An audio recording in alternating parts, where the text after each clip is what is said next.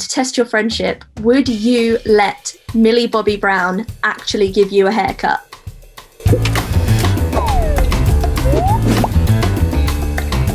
How are you? How are you doing? I'm good. I'm feeling quite good. I've had a few diet cokes, so I'm good. good, good, good.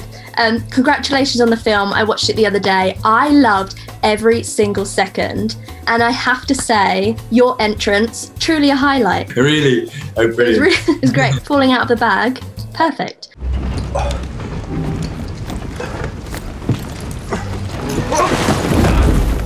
Oh.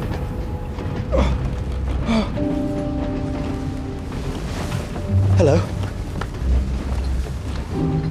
Please get out of this carriage. I want to jump right in. Obviously, Enola Holmes, action packed, so many stunts. There's a great sequence at the end where you find yourself in a bit of trouble. Tewkesbury comes face to face with danger. How was that for you when you filmed it? Was it as intense as it was for me watching it? Completely. It was more intense. Oh, it was insane. The effects that you see, like the explosions, happened right there while I was there. So I was, I mean, a lot of my reactions were genuine reactions. You see this thing blow up, and I had ear mufflers because it was so loud. But I mean, it was still like. So a lot of them, a lot of the reactions was, I mean, properly real. And there was this one, this night, like this armor that completely shatters uh, when it's shot. And they told me that it was gonna, it was gonna break. But I mean, I'd forgotten because I was so, I was trying to get into the zone, into this action scene. So it was a complete surprise. So I, I just had no idea that it was going to go. It was right next to me.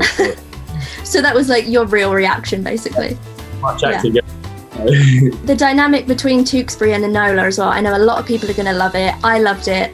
Um, I feel like that's down in part to yours and Millie's friendship, which is just so great to see on screen. There's a scene in the film where Enola cuts Tewkesbury's hair, but to test your friendship, would you let Millie Bobby Brown actually give you a haircut? no way. No, No. way.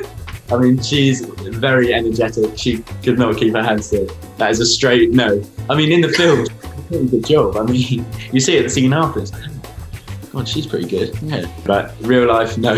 I'd rather do it myself. If we get to see Tewkesbury again in a sequel, maybe one day, where do you feel like Enola and his relationship could go? Do you think it's more romantic, or do you see them more as more of a dynamic duo? That's really yeah, that's an interesting question, and I like that we, you know, it's not one thing. Like the end of the film, I like that it's left sort of up in the air. I really, really like that, and it's not one thing. I mean, I'd like to see a bit more of both, to be honest. If, I think their relationship's so great that it's, you know, it, it could go either way completely. But you sort of appreciate it for what it is. But I would, I would like to see it. I'm not sure. I'd like to see them together again because I think they work great as a dynamic duo, as you say. But I mean, the, undoubtedly a bit of that flirtiness that's always, you know, that would always be going on between Tewkesbury and Yeah, Enola. well, i we'd love to see more. I'm sure it's going to be a fan favourite. I've come here because I've grown to like you more in your absence, and because, as it turns out, your life is still in danger. What's made you like me more? Really? That is your question. Not who is trying to kill me. My last question for you with Enola Holmes, you are now part of the Netflix world. If you could be in any Netflix show, which one would you choose and why? Definitely, definitely not Chernobyl if that's if that's on Netflix. no, oh, what would I be?